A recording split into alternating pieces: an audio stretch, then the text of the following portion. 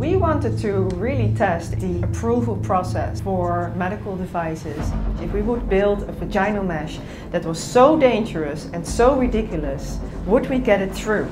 So we bought a net of mandarins and we went to the notified bodies and we said, would you approve this?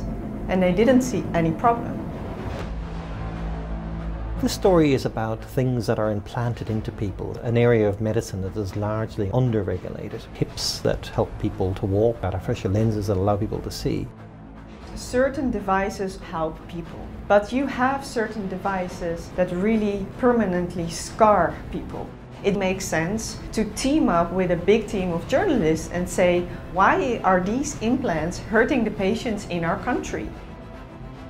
It's not like drugs. You don't have clinical trials for every device. A lot of these products are inserted into people without any testing.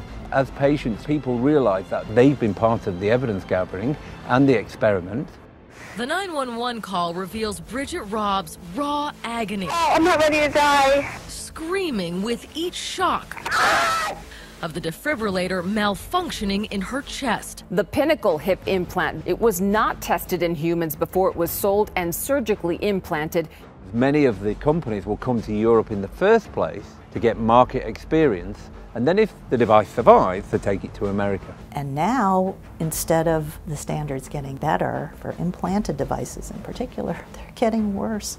All the focus is on, on getting products to market more quickly because that's what industry wants.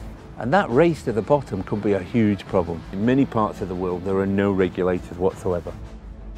L'affaire des implants périmés continue de susciter des réactions au sein de l'opinion nationale togolaise. Johnson & Johnson is accused of selling faulty hip devices to over 4,700 patients in our country. When something goes wrong with the device, if the manufacturer isn't reporting it and the physician and the patient don't take that step, then you're not going to have the full story.